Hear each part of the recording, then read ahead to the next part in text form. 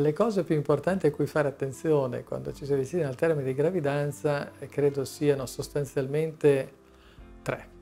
La prima avrete imparato a riconoscere i movimenti del bambino.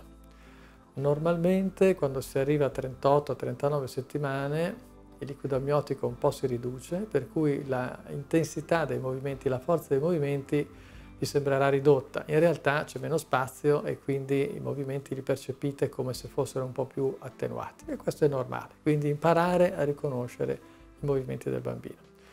La seconda cosa è essere sicuri che il vostro peso e la vostra pressione siano normali e non abbiano degli improvvisi aumenti.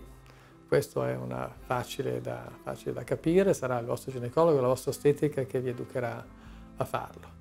Ecco, la terza cosa è continuare ad avere uno stile di vita regolare e corretto, quindi una buona alimentazione, verdura, frutta, pesce, uova, noci, eh, niente zuccheri, eh, anche la pasta e il riso nostro, classici, i nostri primi piatti, non due volte al giorno, più raramente, ben conditi con dell'olio extravergine, niente burro e per quanto riguarda l'attività fisica, mantenere la vostra attività fisica così come vi sentite di farla, lunghe passeggiate, se fate nuoto, nuoto, se fate pilates, pilates, quindi tenere anche a termine, per quanto potete col pancione, avere una buona alimentazione, avere una buona attività fisica, monitorare i movimenti del bambino, controllare il peso e la pressione.